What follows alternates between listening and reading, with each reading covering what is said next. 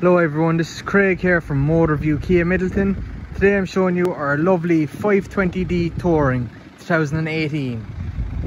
The 5 Series has a lovely chrome and black grille, parking sensors on the front of the car, upgraded alloys, lovely chrome strip on the handles and around the windows. The car also has rear parking sensors, reversing camera, car has only 50,000 miles on the clock. Now let's take a look at the inside of our 5 Series. So this is the inside of our 520 Touring. Has lovely cream leather seats and an armrest. Leather multifunctional steering wheel.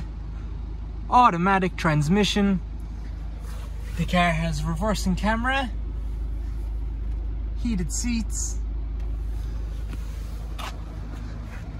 lovely car. So this is the back of our 520 touring. It's leather kick-proof seats very spacious. The 520d has a lovely sized boot with a remote boot release. This would be a great car for a family